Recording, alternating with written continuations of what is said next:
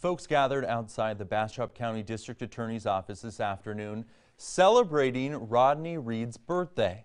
The death row inmate was convicted of murdering Stacy Stites 23 years ago. Last month, he was spared from execution for now. KXAN's Tahera Rahman reports that supporters celebrated Reed's life while also sending a message.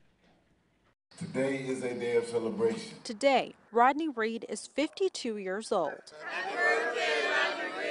Was scheduled to be executed on the 20th of last month. God has blessed us where he could see another birthday. Reed was convicted for the 1996 murder of Stacy Stites. An appeals court has delayed his execution indefinitely until a judge hears the case. Now, for the first time in the last 22 and a half years, the tide is finally turning. But while the rally for Reed was a celebration, it was also a call to action. As we stand here right now, my brother is still on Texas death row. Rodney Reed's family and friends say this is the size of his cell, and they want to make sure that he never spends a single birthday here again. He spent 23 of his birthdays um, locked in a 6 by 10 foot cell, and we're saying that we want him to be free. Protesters are putting pressure on Bastrop County District Attorney Bryan Goertz. In this building, he has the power to bring Rodney home, and he's chosen not to do that. They want him to drop the case against the man they say has mounting evidence that exonerates him. He's the one that's pushing for my brother's execution.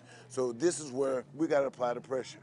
And this is where we're going to apply the pressure. Roderick Reed hopes this time next year will be a very different celebration. He'll be home and we'll be celebrating it with the whole family so we can be whole again. Happy birthday, Rodney.